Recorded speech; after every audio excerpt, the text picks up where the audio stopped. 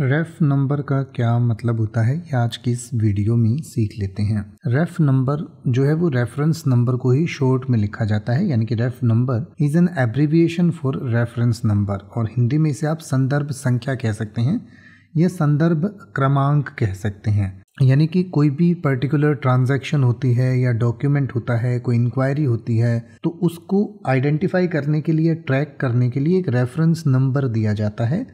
उसको ही शॉर्ट में रेफ नंबर कहा जाता है। यानी कि जैसे अगर आप कोई डॉक्यूमेंट है आपका, उस डॉक्यूमेंट का भी एक सीरियल नंबर होता है तो वो एक रेफरेंस नंबर हो सकता है।